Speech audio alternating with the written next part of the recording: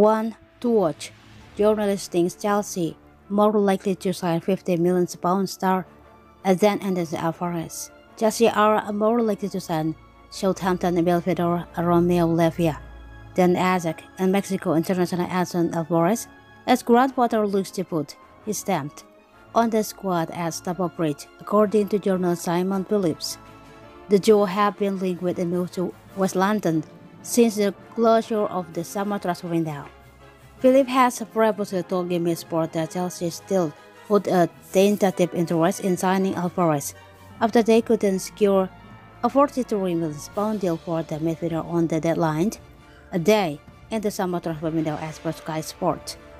The 61 times Mexico international told ESPN always a disappointment after being unable to move to Stamford Bridge because Ajax didn't have a replacement lineup in his position, stating, I'm very disappointed, but I'm convinced that sooner or later a big club will come for me.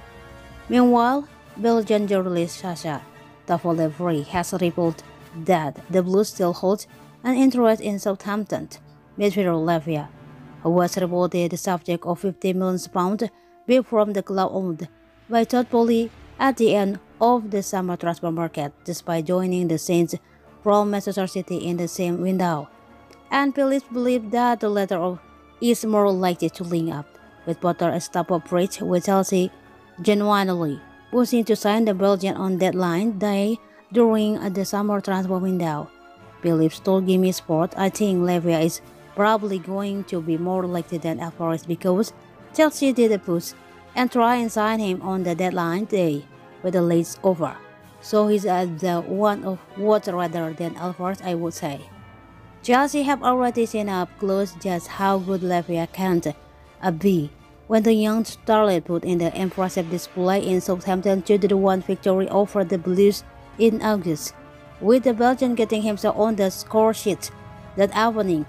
It's not just goal scoring that makes the 18-year-old one of Potter's main desires, with the youngster ranking in the top 1% of midfielder across Europe Big 5 leagues, as well as the Champions League and Europe League for blocks from 90 minutes 2.5 denied and top 5% for interceptions, 1.94 over the last 365 days according to ref. Meanwhile, Alvarez has recently returned from World Cup duty with Mexico, having made two appearances in the side, disappointing group stage exit this winter. However, the defensive midfielder did achieve an impressive score rating of 7.31 for his showings in Qatar, ranking him as the side top performer during the tournament.